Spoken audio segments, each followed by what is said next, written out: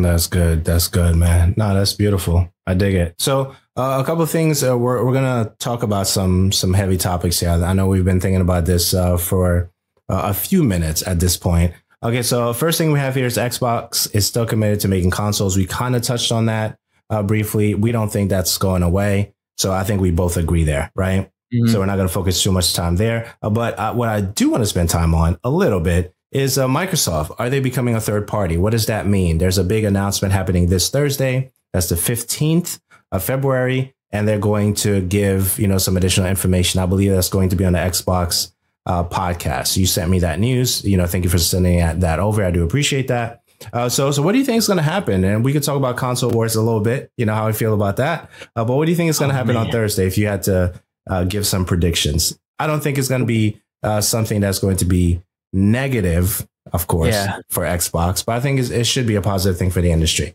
That's that's my hope. Well, go ahead. I think it's a plus, but I, the fact that it's going to be Phil Spencer, Matt Booty, and Sarah Bond, the the fact that they're bringing in the big people at the top to talk about this, this is going to be serious. So, you know, even though we don't want to substantiate on rumors and stuff, uh, we can speculate a little I, I just think they're, yeah, I just think that they're going to be really serious about what the future is and give us a, a roadmap moving forward and what we can expect because I feel like every time we hear a rumor or anyone says anything, all of a sudden the internet runs crazy with it. And we're like, oh my God, Master Chief's going to be on PlayStation and Starfield's going to the Switch and Hi Fi Rush is gone and Sea of Thieves. And now we don't have any exclusives. So now I got to uh, take a chainsaw to my Xbox. You know, people going really wild.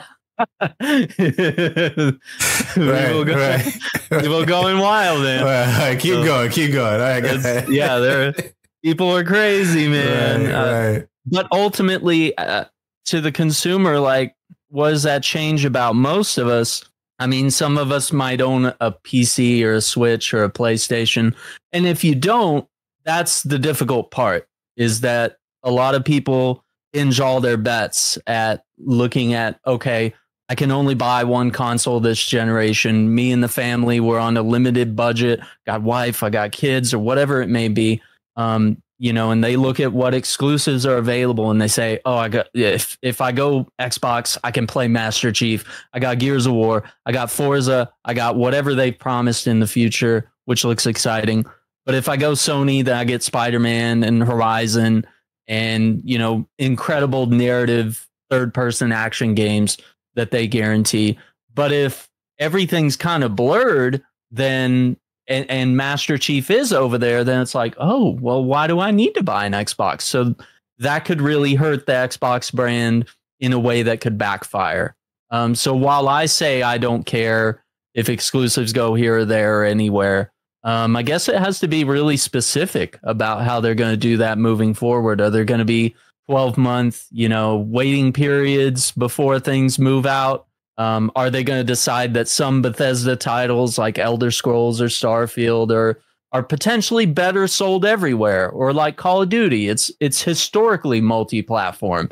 It's probably best that it is sold everywhere and and not just exclusive on one console. So if Xbox truly is anti-exclusivity and you know prefers to be omnipresent, then um, I think that's probably the direction they're going, but maybe it's not as dramatic as everybody on the internet thought. Maybe there's no reason to panic, right? Let's say it is that dramatic, right? Let, us okay. go crazy with it. Let's say we start seeing Halo on platforms that we didn't think we'd ever see Halo on. Is that a bad deal? No, I is think Halo not- is a lot of fun, dude. And the more players, the more fun it is, right? Right. So Hi Fi Rush, Halo, Starfield, Gears of War, you know, some of these mm-hmm. titles. If the intent is to be everywhere, wh- what does that exclude? It doesn't exclude anyone, right? Yeah. If you have a relationship, and that's what's interesting about this is like this console war stuff. And and I definitely say if you have some time, please watch that documentary. It will change your whole perspective. Um, no, well, it, it won't change your whole perspective. Let, let me just, you know, uh, amend that real quick, you know, uh, mm. append one of those words, right? it will change and it will make some adjustments to how you see the console wars and how we've dealt with that conversation as content creators and gamers throughout the years, right? Mm-hmm. It's fascinating. You have to watch it. It is on YouTube. Wait, I'll, I'll, link you. You know, I, I want to hear your your immediate thoughts as soon as you're you're done watching it. So, so yeah. uh, just a quick tease uh, for that particular documentary, uh, Console Wars. Uh, there is a conversation that's happening in in that battle for, of course, Nintendo versus Sega, but even Sega versus Sega, and how the things that we see today by way of Sega as a software company and not as a hardware company anymore, you can see the writing on the wall when you watch the documentary, and it all will make sense once you watch that. Console Wars, definitely check it out. They didn't pay me to say that, but maybe they should. but, but it was really good. It's really good. Okay, so so what if they go crazy? Hi-Fi Rush, Gears of War, um, all the games that we enjoy on certain platforms. And the other part I was going to make uh, by way of a note is that these individuals are friends. They have friendships among these companies, whether it's a Nintendo, you know, to a PlayStation, to a Xbox, to to, to a Microsoft. They have relationships. They can, grad, can congratulate each other when they come out with new products and, and new ventures and things of that nature. Yes, they're in competition because they're businesses, mm-hmm. they, they're still friendships in those companies. And hopefully they're genuine. They're not going to do what happened with Sega when we lost the Dreamcast, right? That that world really shifted because they lost a top tier marketing uh, executive during that time. Fascinating documentary. Again, definitely watch it. you, you you'll be happy that you did. Okay, so yeah, let's go crazy. We get all the games. We get them on Nintendo. We get them on, on PlayStation. Uh, what does that mean? That means everyone who has those platforms, they they pay for the hardware. Now they're able to enjoy those games not only on the streaming side of things, but they can actually enjoy that on the system itself, right? Not just streaming only. Like if they download digitally that title, Hi-Fi Rush is on that particular platform now. What what is wrong with that? You know, someone's getting a cut, someone is benefiting, right? Mm-hmm. Both companies would be benefiting if they decide to do that. I don't think that's necessarily a bad thing. If they go more third party and they localize more games from across the, the pond, if you want to call it that, is that a bad thing? I don't no. think it's a I don't think it's a bad thing.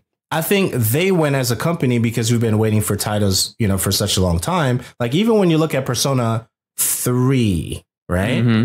Yeah. Look what's going on with that.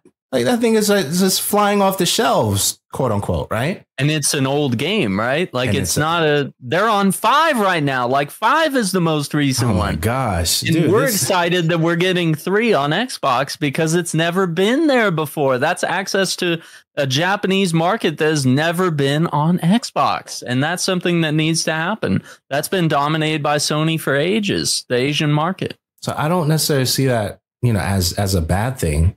But no, it's a win. I know. Maybe All we'll around. have that conversation on Thursday. Maybe if we can make some time, maybe we'll go crazy yeah. with it. We'll see. I'm we'll keen. see. But I don't think that it's it's necessarily a bad thing. Uh, if they decide to go to more of the third party route while still doing a lot of things in house, I don't think that's a bad deal. I don't think that's a bad. Does deal. that mean does that mean that Xbox is in trouble? Is that why they're making this move? They just spent all this money on Bethesda and Activ- Activision. Now they're they're leaking funds because they're not selling enough Xboxes and not enough games are being sold, and everyone's going to Sony and Nintendo. Yeah, I, I don't see it. I don't see it as as a bad thing. I think yeah. if it's one of those things where if you look at history and you want to not repeat a lot of things that took place that were bad, you mm-hmm. have to be the first individuals or the first group to change the trajectory of what's been for so many oh. years, right? We've been mm-hmm. fighting over which console is the best for the last however, you know, since the 80s, right? Yeah.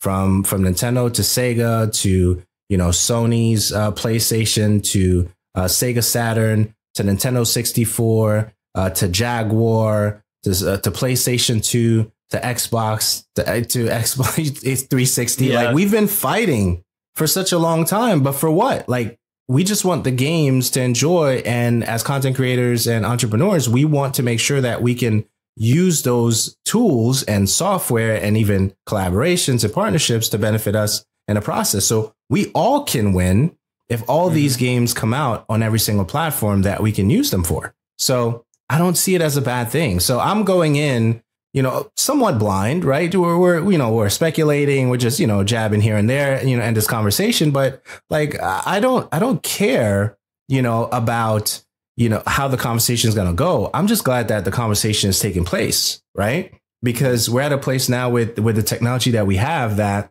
all the games can pretty much be everywhere if the, the hardware can handle it, like literally right? So we have Nintendo Switch 2 maybe uh, on, you know, rumors or I don't know if it's speculation or rumors or anything at this point, but if the hardware can handle it, I mean, Hi-Fi Rush is not a tough game to handle. Right. I mean, maybe Halo, of course, Gears. Halo yes, could be right? tough. Gears, yeah. You know, but outside of that, I mean, what are we? Are we complaining about anything here? I think this is good. Yeah. I think this is good. So yeah, that's where we stand there. Okay.